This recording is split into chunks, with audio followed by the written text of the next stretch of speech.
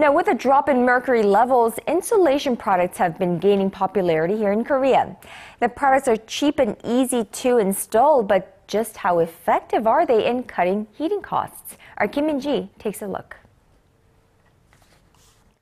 Bubble wrap, commonly used to wrap fragile goods, has been selling well in Korea, not for its original purpose, but for its insulating effects.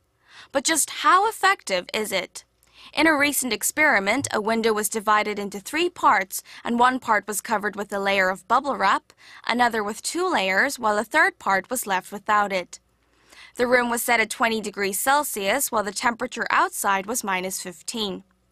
Two hours later, the part without the bubble wrap had dropped to 13 degrees Celsius, while the part with one layer of bubble wrap was 15.5 degrees, and the double layered part of the window was 16 degrees.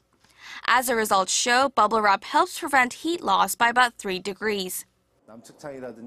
For better results, it would be best not to cover the parts of the window that get the most sunlight so as to receive as much solar energy as possible.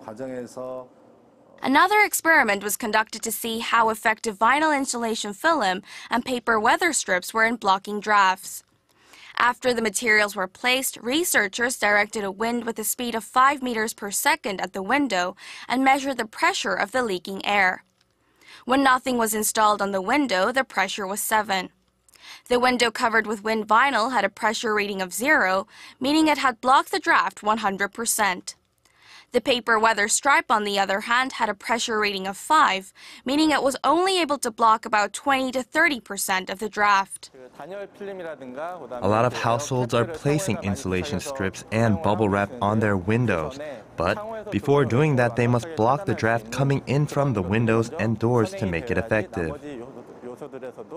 So go ahead and try a combination of these simple but effective methods to conserve the heat in your home instead of worrying about your heating bill.